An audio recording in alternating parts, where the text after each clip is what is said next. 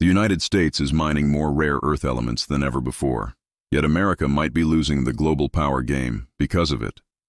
While politicians celebrate domestic mining victories, China quietly controls the one thing that actually matters the ability to turn rocks into the magnets that power everything from your smartphone to F 35 fighter jets. This isn't just an economic story. It's about the hidden vulnerabilities that could reshape global power in ways most Americans don't realize. To understand this paradox, we need to look at what's actually happening in the rare earth industry today. The Mountain Pass mine in California, operated by MP Materials, now produces about 45,000 tons of rare earth concentrate annually, making it the world's second largest rare earth mining operation. This represents a remarkable recovery from near-zero American production in the early 2010s, when the facility had closed due to Chinese competition flooding global markets with below-cost materials. The numbers seem impressive on paper. The Department of Defense has committed over $439 million through the Defense Production Act to companies building rare earth capabilities across America. In July 2025, MP Materials secured a transformative multi-billion dollar agreement with the U.S. government, with the Department of Defense becoming a principal shareholder and establishing minimum pricing guarantees nearly double current Chinese market rates. But here's where the story takes an unexpected turn. Despite all this investment and increased mining, America may actually be more vulnerable today than it was a decade ago. The reason lies in a fundamental misunderstanding of where real power exists in the rare earth supply chain. China doesn't just mine rare earths, they've systematically conquered every stage of the value chain. While China controls roughly 60 to 70% of global rare earth mining, their real dominance lies elsewhere. They command 85 to 90% of processing capacity and over 90% of magnet manufacturing worldwide. This isn't an accident. It's the result of a three-decade strategy that most Western analysts completely missed. The transformation of China's rare earth sector reveals sophisticated state planning that puts American industrial policy to shame. Through massive consolidation efforts, China reduced hundreds of independent miners and processors to just two state-owned giants. China Rare Earth Group, controlling southern deposits rich in heavy rare earths, and China Northern Rare Earth Group, controlling northern light rare earth resources. This consolidation eliminated chaotic competition and gave Beijing unprecedented control over global supply chains. The technical complexity of rare earth processing cannot be understated, and this is where America faces its biggest challenge. Heavy rare earth element separation requires over 1,000 solvent extraction stages, demanding specialized metallurgical expertise that has been concentrated in Chinese facilities for decades. Capital requirements exceed $100 million per facility, while Chinese patents and workforce expertise create additional barriers that American companies are just beginning to understand. Here's the disturbing reality. Despite producing 45,000 tons of rare earth concentrate annually, the United States had only one operational refining facility by 2024, producing merely 1,300 tons of neodymium praseodymium metal alloy. This facility represents America's entire domestic processing capacity for these critical materials. Even flagship American companies like MP Materials must still send materials overseas for processing, often to Chinese-controlled facilities. The scale disparity is staggering when you examine the numbers.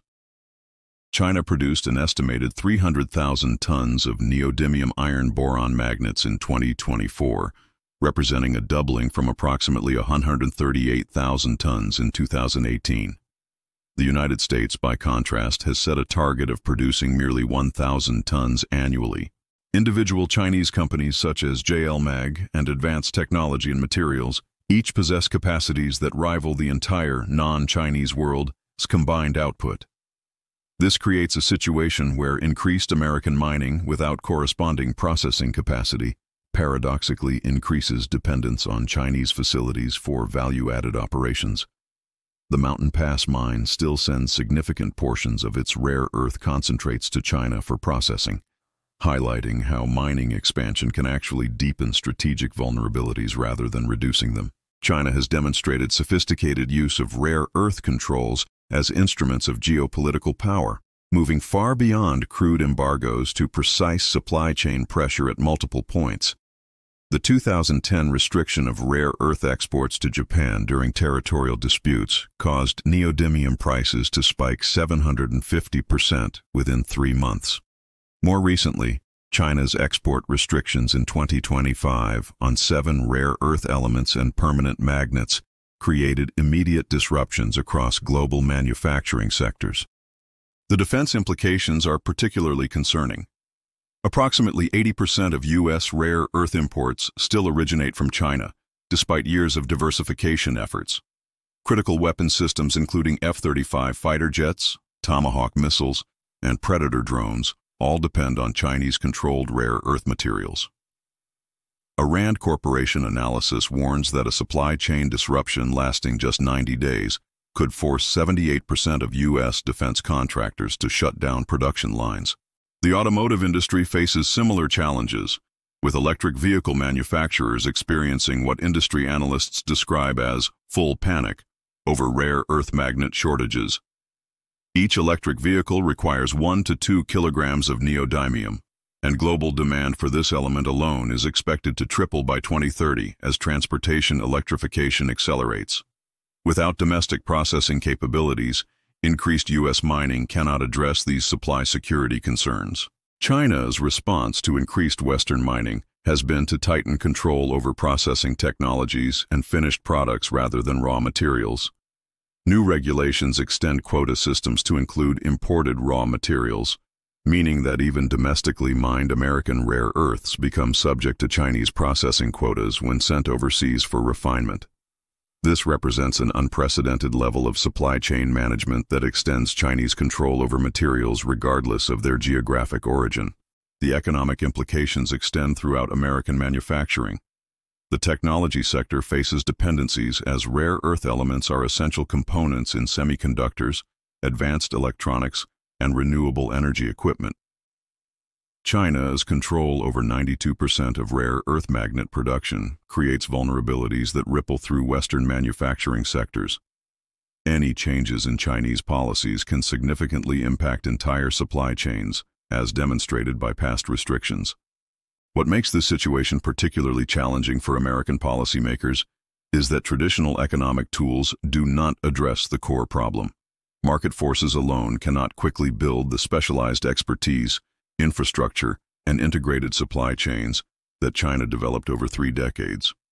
The capital requirements are enormous, the technical challenges are severe, and the timeframes extend far beyond typical political cycles. International partnerships offer some potential pathways forward. Australia's emerging processing facilities, Japan's recycling technologies, and Malaysia's separation capabilities could form components of an integrated alternative supply chain. However, these efforts remain fragmented and lack the coordinated industrial policy that enabled China's dominance. The rare earth paradox illustrates broader lessons about economic security in an interconnected global economy. Control over strategic resources increasingly depends on technological capabilities, processing expertise, and manufacturing integration rather than simple ownership of raw materials. Mining represents only the first step in a complex value chain where real strategic control lies in the sophisticated industrial capabilities that transform rocks into the high-tech products that define modern life. For American consumers and businesses, this means that despite all the headlines about domestic mining success, the fundamental vulnerabilities remain unaddressed. The path to genuine rare earth security lies not in digging more holes, but in building the sophisticated industrial capabilities that can compete with China's three-decade head start in processing and manufacturing. The question facing America isn't whether we can mine more rare earths. We're already proving that's possible. The question is whether we can develop the industrial ecosystem necessary to turn those raw materials into strategic power. Right now, the answer suggests we're fighting yesterday's battle while China continues to write the rules for tomorrow's game. What do you think?